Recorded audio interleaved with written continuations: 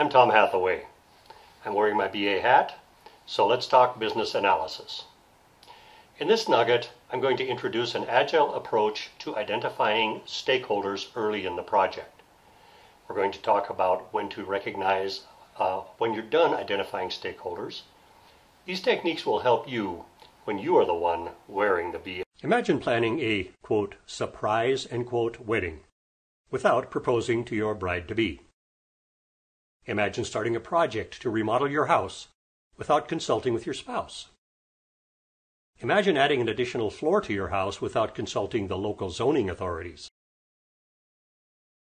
These three are but a few of the wonderful hypothetical scenarios that describe the real-life situation in which some organizations initiate information technology or IT projects without including all relevant stakeholders. Involving the right decision makers is one of the critical success factors for any project, IT or otherwise. To involve them, you have to first figure out who they are. Stakeholder identification is one of the most important steps in the early phases of any project. Missing a single stakeholder might endanger the entire project. At the very least, discovering missed stakeholders late in the project is a major contributing factor to scope creep. How can you avoid this pitfall?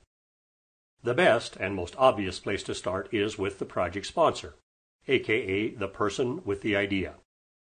The first stakeholder on any project is that sponsor, who, in a perfect world, is also the individual who has A.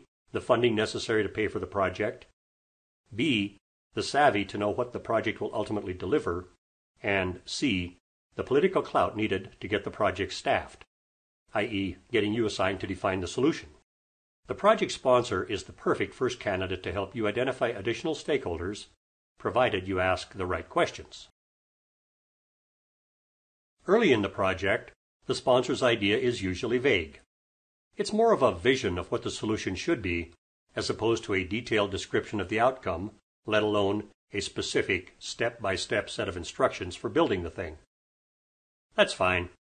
That is the sponsor's role. Ergo, we say that he or she, quote, envisions, quote, the solution.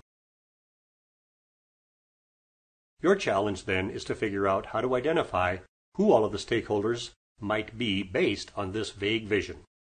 Where to start?